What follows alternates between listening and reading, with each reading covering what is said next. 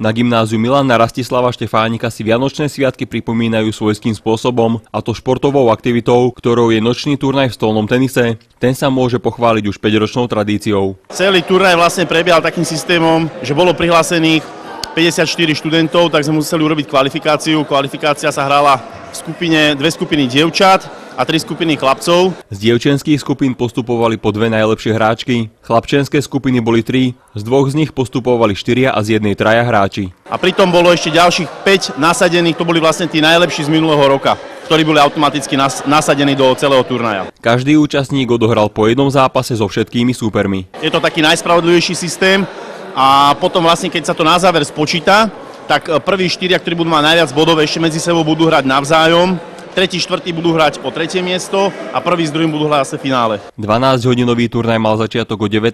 hodine a v jeho závere študentov čakal aj dodatočný program. Uvidíme, ako budeme časov vychádzať. Keď budeme veľmi rýchle, tak máme tu prichystanú aj takú mini tombolu pre všetkých zúčastnených.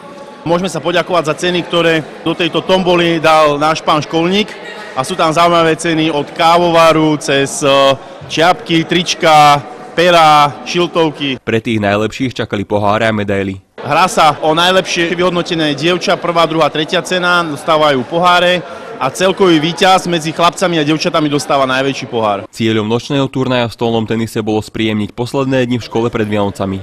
Juraj Oríšek, Televízia Pohoda.